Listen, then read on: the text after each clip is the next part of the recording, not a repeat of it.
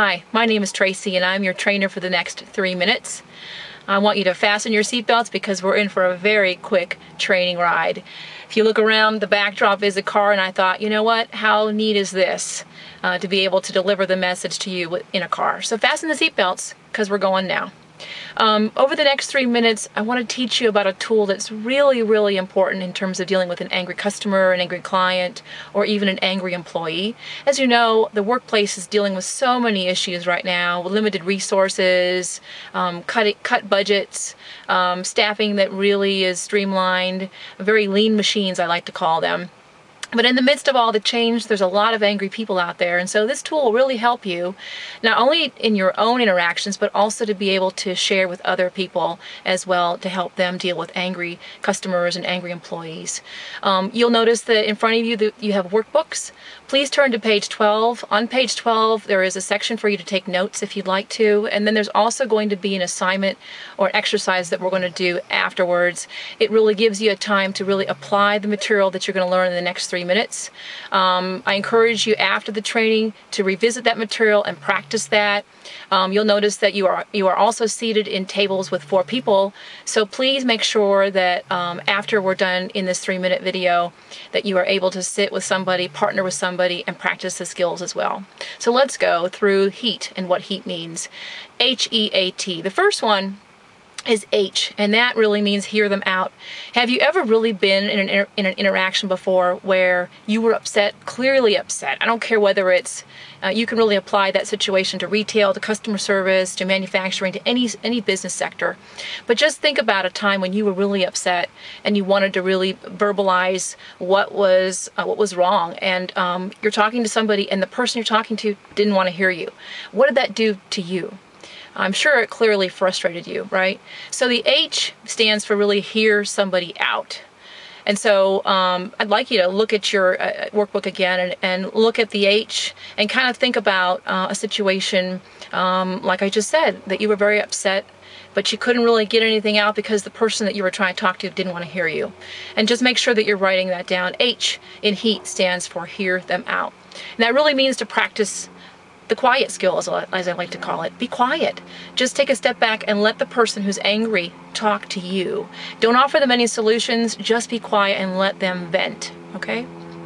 The E, H-E, stands for empathize in heat. And that means there's a difference between empathize and sympathize, and it's difficult to kind of understand the difference. But I caution you to give you an example don't ever say I understand where you're coming from in a situation when somebody's very mad because quite frankly you may not have a clue what they're going through.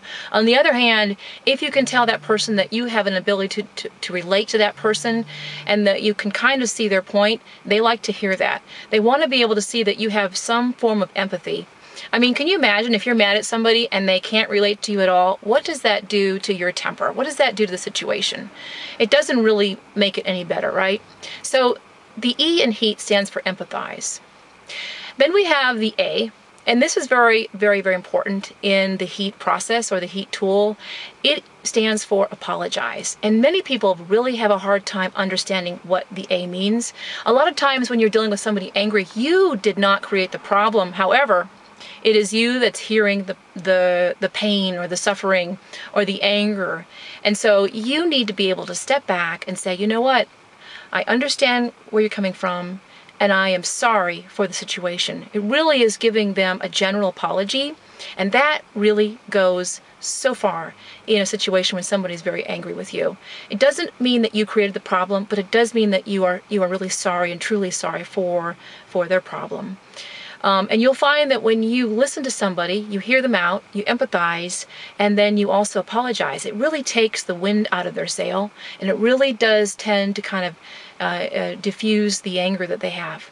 And then the, the very last um, uh, step in the heat process is T, and that is take action. And that means you may not be the person to be able to solve their problems, but you promise that you'll either find somebody who can, or if it's you that can solve the problem, you promise to do so. So, um, you know, think about it again, go back to a time when you're very angry at a situation.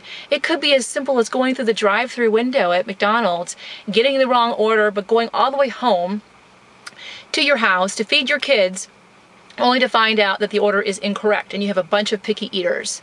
If you called McDonald's and they didn't care, how would that make you feel? However, if you called them and they heard you on the phone, they apologized, but they emphasized first, they apologized, and then they said, What can I do for you? Or let me give you a free meal, or something to that effect. If they took action, how would that make you feel? Wouldn't it make you feel a lot better?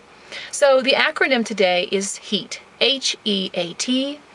H stands for hear them out, E stands for empathize, A stands for apologize, and T stands for take action.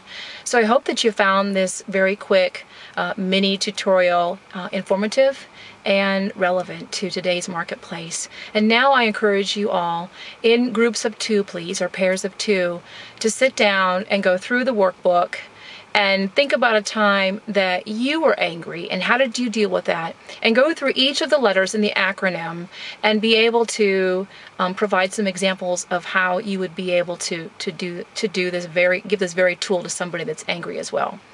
Um, and then I'll, after we're able to do that in about 15 minutes I'm going to ask for some volunteers in our group to be able to share their experiences um, and I think you'll find this a very useful tool. And I also, again, encourage you to share this, pass this gift along to somebody else because I guarantee it's something so valuable that I don't think you should keep it to yourself. You should share it pass it along. Okay, thank you very much. Bye-bye.